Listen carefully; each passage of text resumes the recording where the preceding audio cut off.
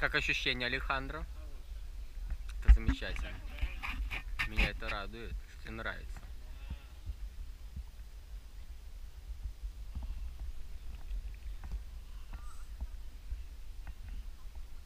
Болит на самом деле голова у Максима, не у меня. Но Саша Ну, проходит, да, именно у него, когда он тебе делает. там